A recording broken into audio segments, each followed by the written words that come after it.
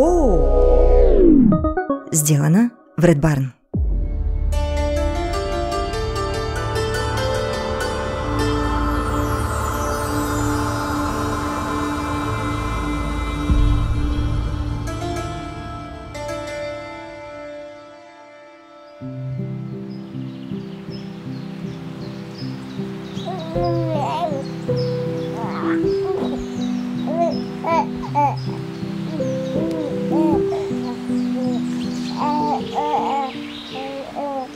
Иван Васильевич Радушкин родился солнечным днем 21 июня под знаком близнецов. Своим появлением он не доставил хлопот ни матери, ни акушерам. И, наверное, если бы мог, то сам бы перерезал себе пуповину. Позже, вспоминая этот день, мать Ивана Васильевича скажет, что все прошло как по учебнику – Первые годы жизни Ивана Васильевича складывались удачно.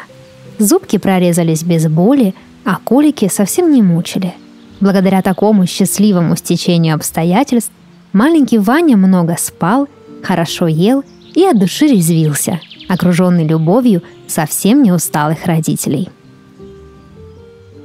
Пошел малыш не поздно и не рано, а самое, что ни на есть вовремя – к этому моменту родители успели обезопасить дом, чтобы смягчить Ване встречу с острыми углами.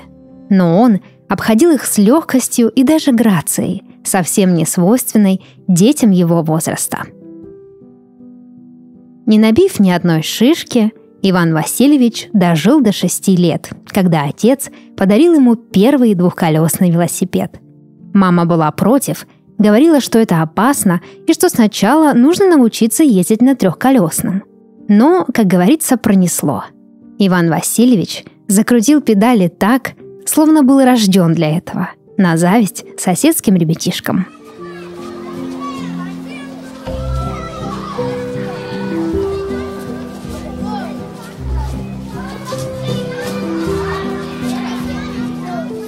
Как и многие дети его возраста, Иван Васильевич лазил по деревьям, бегал босиком и долго не вылазил из воды, когда вся семья ездила на море. Но, к удивлению окружающих, он ни разу не ломал ни рук, ни ног, не ловил за нос и не переохлаждался. «Это все крепкий иммунитет», — говорил отец с умным видом. К слову, иммунитет у Ивана Васильевича действительно был хоть куда — он никогда не простужался и не знал, каково это – сбивать температуру. Более того, он даже не имел понятия, где в их доме лежал градусник. Первые сигареты и эксперименты с внешностью обошли вступившего в пубертат Ивана стороной. Он учился только на пятерке и четверке, никогда не прогуливал уроки и не вступал в драки. Получив аттестат, Иван Васильевич уже знал, кем хочет стать, когда вырастет, Поэтому без труда выбрал себе университет и поступил туда с первого раза. На первом курсе биологического факультета Иван Васильевич встретил Свету Воронцову. Красивую, умную и веселую девушку, с которой у него очень быстро завязались теплые отношения. На втором курсе они вместе поехали на практику в ботанический сад, и там Иван Васильевич понял, что влюбился – Тянуть с признанием он не стал и вскоре выяснил, что его чувства взаимны. После окончания университета Иван Васильевич подумал, что было бы неплохо заниматься тем, что ему нравится, и устроился лаборантом в Центр биологических исследований «Эволюция». Профессия эта была не слишком рискованная и не слишком напряженная, но интересная, если не искать в ней великой интриги. Иван Васильевич точно не искал – он изучал природу и жизнь в ее самых простых проявлениях – растения, насекомые, микроорганизмы – и никогда не страдал от усталости, выгорания или отсутствия мотивации.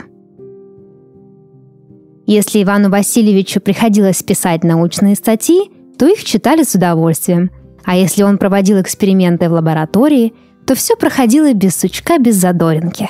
В таких условиях карьерный рост Ивана Васильевича проходил сам собой. Коллеги уважали его за компетентность, но немного недолюбливали за исключительное везение. Казалось, все в жизни Ивана Васильевича случается легко и ровно тогда, когда это нужно ему самому. К 25 годам, когда многие молодые люди сталкиваются с кризисом четверти жизни, на долю Ивана Васильевича все еще не выпало ни сильных потрясений, ни глубоких драм, ни даже грусти. Он жил просто и понятно, словно швейцарские часы. Утром просыпался, шел на работу, вечером домой –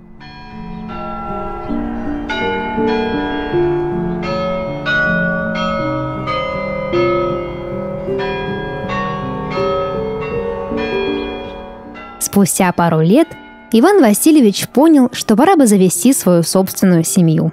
Он сделал Свете предложение, и вскоре они поженились на радость родне.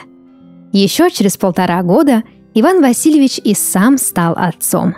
Его сын, которого было решено назвать также Ваня, родился быстро и легко под стать своему везучему отцу. Семейная жизнь оказалась приятной – Хотя этому Иван Васильевич не был удивлен. Каждый новый день своей жизни он воспринимал как должный. Одна страница была похожа на другую, но в каждой главе происходило что-то особенное. Размышляя об этом, Иван Васильевич приходил к убеждению, что из таких глав могла бы получиться хорошая, добрая книга. Такие читают, сидя у камина на зимних праздниках. Шло время, и жизнь Ивана Васильевича тоже шла своим чередом. Менялась работа, менялся дом, но не менялись его манеры. Он всегда говорил спасибо, пожалуйста, извините, никому никогда не грубил, да и в целом его речь была безупречна. Быть может потому, что Иван Васильевич не позволял себе ярких эмоций и резких движений – Люди, что знали Ивана Васильевича, думали, что он старается держать себя в руках, как подобает ученому. Но Иван Васильевич совсем не старался. Ему просто было неизвестно, каково это – терять голову от чувств. В каком-то смысле он жил среди людей, как тот самый гладкий камень в реке. Не царапает ноги, не бросается в глаза, а просто тихо катится вдоль берега, покорно принимая каждый изгиб течения –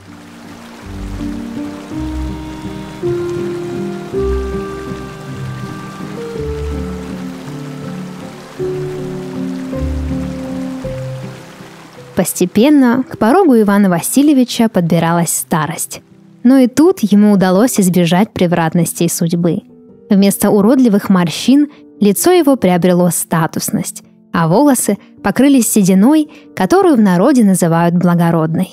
Он продолжал вести активный образ жизни и сохранял ясность ума, тогда как его ровесники жаловались на боли в суставах и высокое давление. Кто-то Мог бы даже сказать, что Иван Васильевич остался внешне очень привлекательным. В 60 лет он вышел на пенсию. Получая от государства хорошую сумму денег и имея приличные накопления, Иван Васильевич посвящал время только приятным занятиям. Ездил на рыбалку, ковырялся в саду, готовил и даже решил научиться писать картины. Внукам своим он рассказывал только добрые сказки и истории из жизни. Баек он не знал, ведь с ним никогда не происходило ничего драматичного. Только обычная история о том, как все получилось. Однажды про Ивана Васильевича даже написали в газете. Автор статьи под названием «Самый счастливый человек на Земле» целую страницу удивлялся тому, как же можно пройти по жизни так гладко, не то чтобы не упав, ни разу даже не споткнувшись. В конце Читателям оставили риторический вопрос. В чем секрет? Но никакого секрета не было.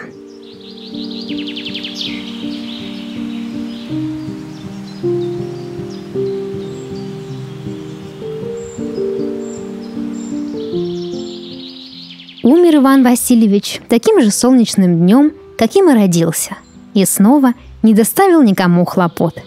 Лежа в своей постели, он просто закрыл глаза сделал глубокий вдох, а после представился с улыбкой на лице.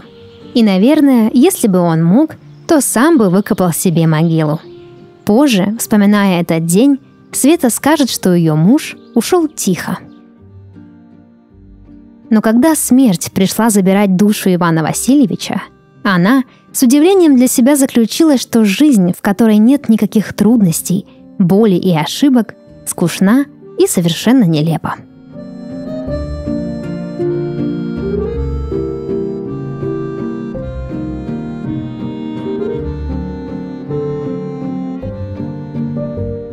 Это подкаст «Сны» и его ведущая Дарья Харченко. Сегодня я читала рассказ, написанный на основе сна нашей слушательницы Дианы Пан из города Москва. Если вы хотите, чтобы ваш сон прозвучал в подкасте, присылайте его к нам на почту. Ссылка в описании. До новых встреч и сладких снов!